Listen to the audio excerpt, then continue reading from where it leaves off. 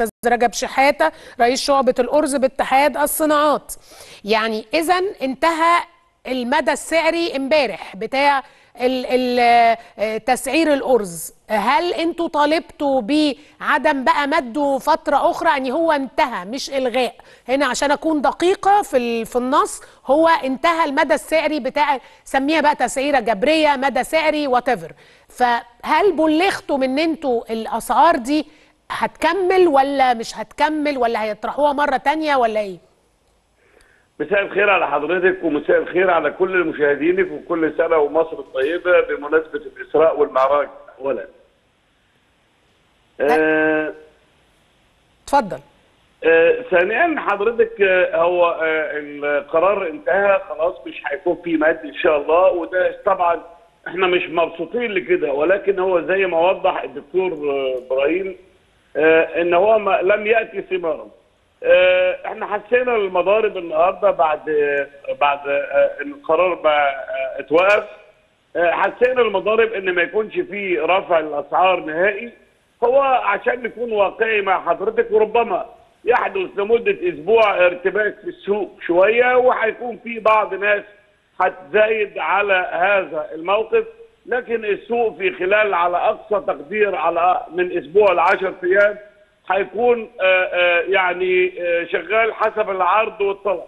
ليه؟ وهتقولي لي أسبوع أو 10 أيام؟ هقول لك ال hyperات الكبيرة اللي زي كارفور وزي مترو وال- ال- اللي هو ال- المناطق الكبيرة دي في الأسواق ما كانتش بتعرض رز أو كانت بتعرض رز بكميات بسيطة لأن هذه الأسعار ما كانتش مناسبة مع سعر الشعير. فعشان كده هذه المناطق نتمنى إنها تأخذ العرض فقط وليس للتخزين ويكون المعروض آه، بتاعها هي ال- ال- اللي بتستلمه فقط حتى لا يحدث مزايدات على الأسعار. طيب. وفي هذه الحالة إن شاء الله مش هيكون في ارتفاع في الأسعار كبير ولا أي شيء. ده رقم واحد، رقم اثنين هو ما كانش فيه أزمة كان حضرتك لو بتطلعي من أي hyper كبير بتخش على أي سوبر ماركت صغير في جميع الشوارع الفرعية كنت بتلاقي الرز آه ب 20 و21 وب 22 كنت بتلاقي أي كمية أنت عاوزاها. فهو القرار ده لصالح ال ال يعني السوبر ماركت الكبير اللي هو ما كانش بيعرض رز لأنه ما كانش لاقي بالاسعار طيب. الارشاديه اللي كانت طالعة. هي دلوقتي هو ال ال ال ال إيه؟ يعني نتوقع سعر الرز هيبقى كام؟ وهل نتوقعه يبقى متوفر؟ لأن الفترة اللي فاتت ما كانش فيه رز في أماكن كثيرة وحضرتك عارف. ف فدلوقتي ما هو السعر الذي نتوقعه للأرز في الفترة المقبلة؟ يعني متوقعين إيه؟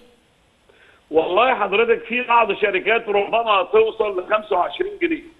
يعني في شركات آه، ربما الناس بتطلبها بالاسم فخلاص هو اللي عاوز الشركة دي بالاسم أو الشركة دي بالاسم هياخد ربما لحد 25 جنيه.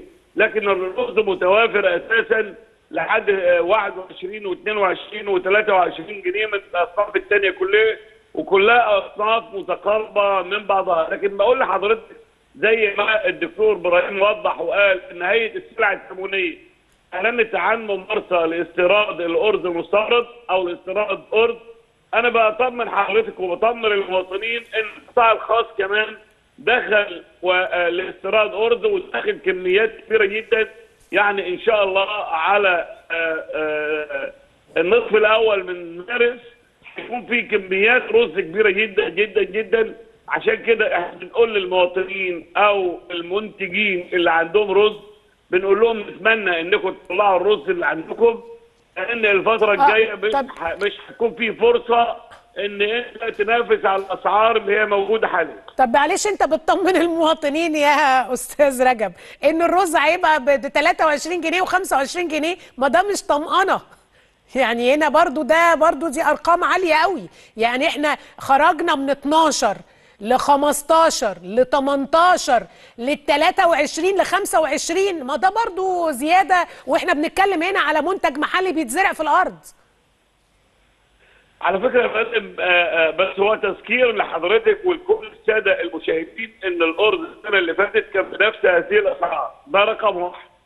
رقم اثنين آه، أنا معاك إن هو إنتاج محلي ولكن اللي بيبيعوا ما هو بي- بيبيعوا من أجل شراء أشياء أخرى. فانا مش هينفع أجي أقول له والله ده انتاج محلي ادولي بسعر كذا وروح اشتري انت بالتسعيره الحديثه من بعض اذا كان بيروح يشتري اي شيء النهارده بديل عنه لأن هو بيبيع ال- ال- الصنف بتاعه أو بيبيع انتاج زراعته عشان يروح يشتري اي شيء تاني. فانت حضرتك شايفة الدنيا كلها ارتفعت أسعارها مش الأرز بس. طيب. لما بيبيع الرز بتاعه يروح يشتري بديل هل استيراد. الحكومة هل استيراد الحكومة للرز بالنسبة لكم مزعج ولا بالنسبة لكم إيه اطلاقا يمكن مش عاوز أقول لحضرتك إن إحنا طالبنا في يوم من الأيام لما آه، آه، حدث كده طالبنا شعبة رز طالبنا باستيراد أرز ولكن عشان نكون واقعي كنا بنطلب على استحياء لكن رغم ذلك السيد الوزير استجاب لطلبنا وإعلن عن مناقصة وبقول لحضرتك مش مدة بدليل إن القطاع الخاص في في حوالي 10 شركات قامت باستيراد رز وزي ما بقول لحضرتك وبوضح للسادة المشاهدين في أول آه، شهر ثلاثة هيكون الأرز المستورد موجود وبكميات كبيرة زي ما سبق والقطاع الخاص هو اللي استورد. يعني القطاع الخاص هيستورد كمان أكثر من الحكومة. يعني الحكومة تقدم لها حوالي 125 ألف طن. القطاع الخاص ربما يكون فيه أكثر من ذلك نعم. شكرا أستاذ رجب شحاتة رئيس شعبة الارز باتحاد الصناعات.